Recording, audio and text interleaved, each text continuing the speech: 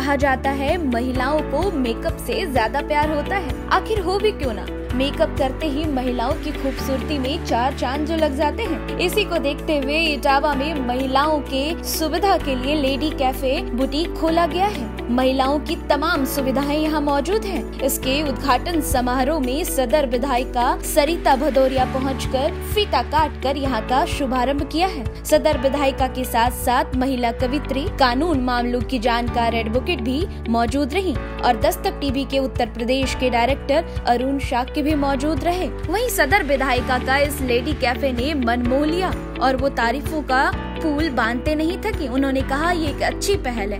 अब हमारे शहर की महिलाओं को दूर दराज नहीं जाना पड़ेगा। अब सारी सुविधा यही उपलब्ध है। वहीं विधायिका ने लेडी कैफ़े के संस्थापक को शुक्रिया अदा किया और लेडी कैफ़े की ऑनर उर्मिला शाक एवं प्रियंका शाक ने फूल मालाओं से विधायिका का स्वागत किया। लेडी कैफ़े में क्या खास है? इसके लिए हमने लेडी कैफ़े की ऑनर से बात की है। तो उन्होंने कहा कि ज़िले को बेहतर से बेहतर सुविधा देने के लिए महानगरों में मिलने वाली सुविधाओं को इटावा जैसे शहर में लाने का प्रयास किया जा रहा है। वहीं कई महिलाओं ने महिला सशक्तिकरण की कविताओं के माध्यम से अपनी बात कही।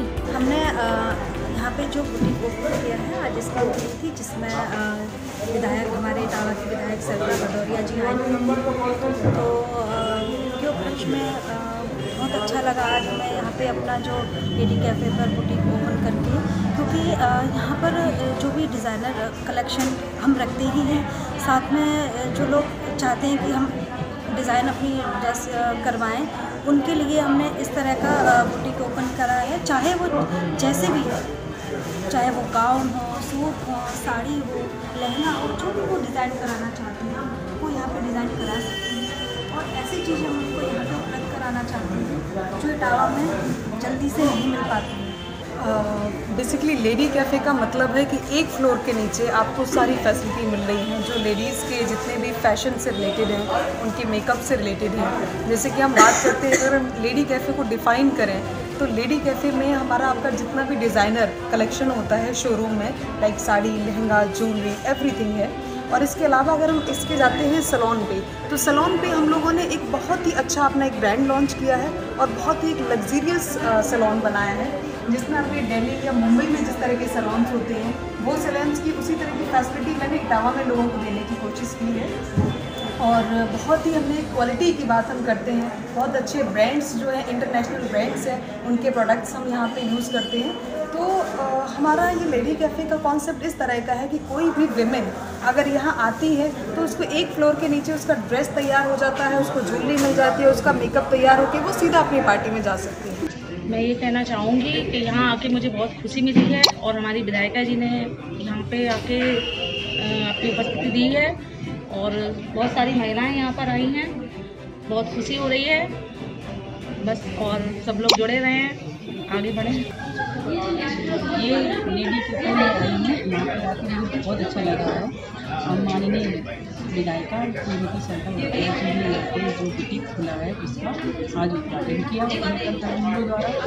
और यहाँ की जो ऑर्गेनाइज है, हमारी बहन प्रियंका प्रियंका साथी जी और उर्मिला साथी जी को मैं बहुत बहुत बधाई देती हूँ, शुभकामनाएँ देती हूँ। यहाँ पे आके मुझे बहुत अच्छा लगा और इस लेडी कैफ़े का संचालन हमारी दो बड़ी बहनों प्रियंका साथी जी और उर्मिला साथी जी के द्वारा आयोजन किया जा रहा है। मैं दोनों बहनों को बहुत बहुत शुभकामनाएँ बधाई देती हूँ। और जैसा कि आप सभी लोगों को पता है, हमारी इटावा सदर की विधायक श्रीमती सविता भदौरिया जी द्वारा इस बुटीक के इस कार्यक्रम की मुख्य अतिथि हैं तथा उपस्थित सभी महिलाएँ जो विभिन्न संगठनों से संबंधित हैं और कुछ गृहिणियाँ भी हैं, जिन्होंने यहाँ पे आकर इस कार्यक्रम की शोभा को बढ़ाने का कार्य किया है। सबके नीचे हमारी दो इसकी ऑनर महिला प्रियंका। दोनों ने मिलकर अच्छा किया है और एक सकते उनकी सारी सुविधाएँ महिलाओं के लिए एकत्रित की मुझे अच्छा लगा यहाँ पर आकर इटावा के लिए इटावा के लिए क्योंकि हर व्यक्ति आज के समय में सुंदर दिखना चाहता है। सुंदरता से कॉन्फिडेंस भी बढ़ता है। कॉन्फिडेंस आज अगर सशक्त नारी किसी भी क्षेत्र में उसे उत्पीड़न का सामना नहीं करना पड़ेगा। और अगर शिक्षित और सशक्त नारी है तो बालिका स्वतंत्र भारत के निर्माण में उसकी अहम भूमिका होगी। स्वाभिमान जज्बा बुलंद करके आगे बढ़ना होगा। नारी तू सम्मान राष्ट्र का नेक कर्म करना होगा। नारी तू सम्मान राष्ट्र का नेक कर्म करना होगा। इसके लिए ज़रूरी नहीं। इटावा से दस्तक टीवी के लिए मनोज कुमार की रिपोर्ट।